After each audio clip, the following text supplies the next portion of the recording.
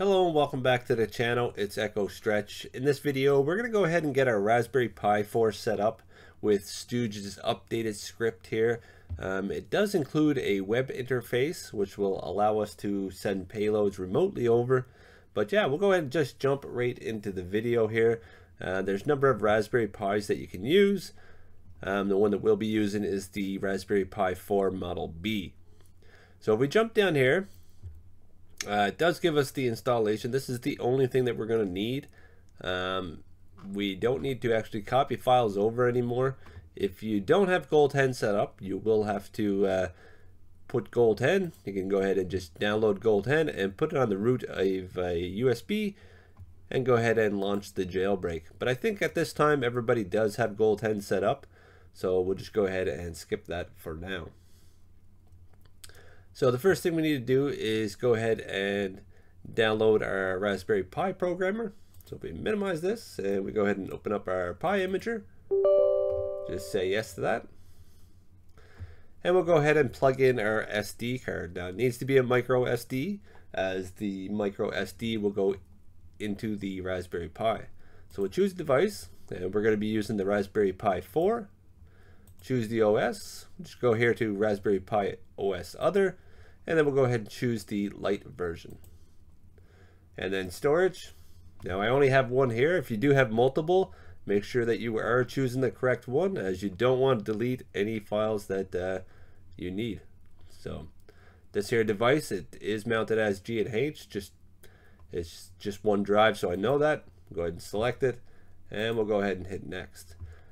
Here we're going to go ahead and go into edit settings. Now everything is uh, saved here from previous. Um, so we'll need to enter our host name. Uh, just echo stretch is fine. .local. You can have it whatever you want. Uh, username and password. I just usually just put in echo echo, which is fine. I'll be connecting to the 2.4G. I don't think the Raspberry Pi does 5G, so you will have to uh, switch it to the to the 2.4.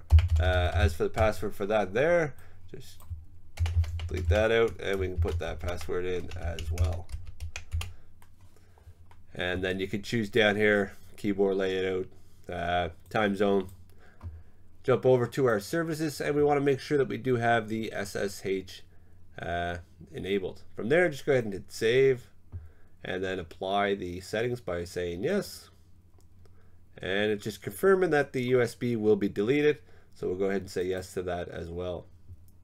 Now this can take a little bit of time, so we're gonna go ahead and just let it go. Okay, so we're just about done, 99%.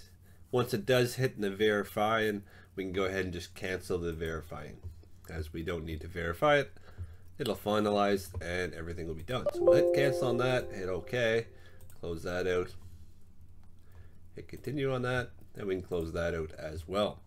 From there, we can go ahead and unplug our micro SD from the computer, plug it in our Raspberry Pi, and we'll go ahead and plug in the Ethernet cable to our Raspberry Pi, plug it into the back of the PS4, and then we'll plug in our USB cable to the PS4 and plug in the USB side to our Raspberry Pi. Okay, so now that we're over to our PS4 and we do have everything plugged in, we'll jump into our settings, go to network, set up internet connection, we'll use the LAN cable, go to custom,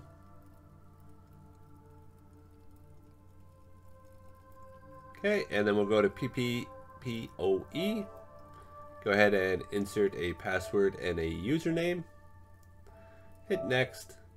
DNS will be automatic. MTU settings will be automatic. And proxy server will be do not use.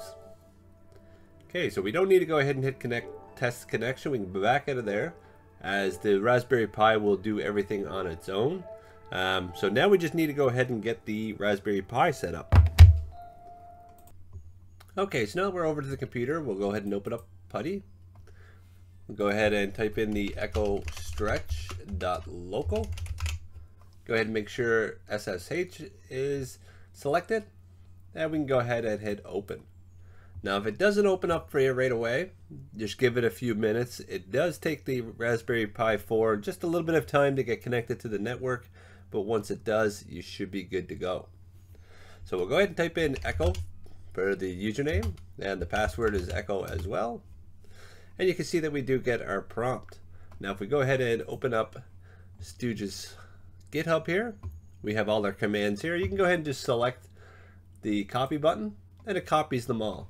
So we'll go ahead and minimize that. And we'll just go ahead and paste it in just like so. Go ahead and hit enter. And we just sit back and wait for it to finish. It will do all the commands for you. So there's no need to actually do each one one at a time. Okay, so once it's done, we will be prompt with a few questions here. First one, do you want to enable the option to use Python, which is slower? So we're going to say no to that because we want to use the C++ one. Next question is, do you want your console to connect to the internet after PPP? Uh, we're going to say no to that as well. If you do want it to connect to the internet, you can go ahead and say yes. Uh, it is set up to block the update server, so your PS4 will not uh, connect and update. But for the video, we're going to stick with no. And do you want your Pi to shut down after Pwn is success? Uh, yes, we do, because we don't need it running anymore. Um, if you plan on using the Python script on it, then you can go ahead and say no to this here to keep it running. And then once you do go into the the uh, website, then you can go ahead and shut it down once you're done. So we'll we'll say no, and I will show you that. Are you using a USB Ethernet adapter? The Pi 4 comes with an adapter attached to it, so we're not going to be plugging in a USB one. But if you were to use one of the other ones, then you would have to say yes to that. So we'll say no. And would you like to change the firmware version being used? The default is 11. So we're going to say no to that because we are using 11.00. And would you like to change the Pi LAN interface?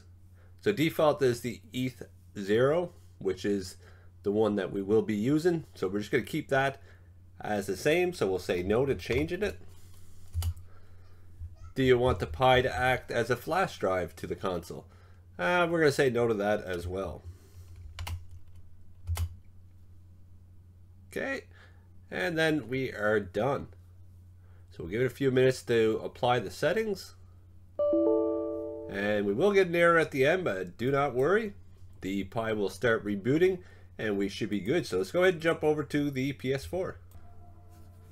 Okay, now that we're over to the PS4, we'll give it a few minutes here for the Raspberry Pi to boot up.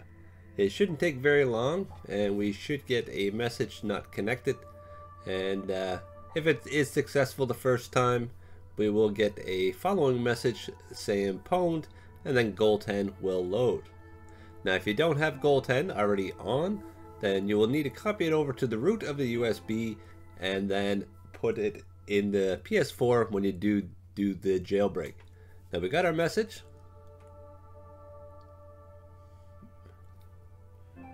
And there we go. There's Goal10 loaded up. Okay, so the payload is successfully loaded. From there, we can go ahead and jump over to our normal network. So we're going to set up internet connection. And we'll go ahead and use Wi-Fi. Now it does remember the settings, so we'll leave that and just say yes. Give it a few minutes here to switch over. There we go. If you can go to view connection status, you can see I do already have the primary DNS set up for Pneumatics DNS, so I don't need to worry about the PS4 updating. So we'll back out of there. If we go up to our settings, go into our user guide and select user guide, you can see that it will automatically redirect us to the 7-in-1 host. And then from here we can jump on Chameleon's host and go ahead and launch any payload that we want. So let's go ahead and jump back over to the computer and we'll get into the web interface. Okay, so now that we're over to the computer, we can go ahead and open up a new tab and we'll just type in ppwn.local. Go ahead and hit enter and you can see this is the host that comes up for the Raspberry Pi. From here we have a few options. uh, we can hit load payloads and then it basically tells us to place the payloads in the folder called payloads on the USB drive and plug it into the Pi. You must, must also enable bin loader server in Gold 10. By default, the, the bin loader server is automatically loaded, so you should be good there. Back out of there, switch it to different Ethernets. Um, this computer only has one, so I only have one selected.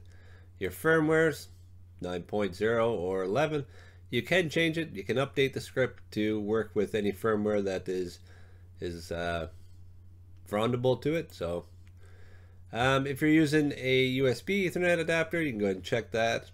And then if you want to enable the console to have internet access afterwards, go ahead and select that as well. And then you can enable the USB drive. Um, your other options is to restart it and reboot the Pi. This is actually the board. But if you're all done in here and you don't need to do this, you can just go ahead and hit shut down the Pi because you already have the PS4 jailbroken. But other than that, guys, that's basically it for the video. I hope you did enjoy it. If you did, go ahead and hit that like button. And if you're not subscribed already, go ahead and hit that subscribe button. And I will see you in the next video. Thanks for watching.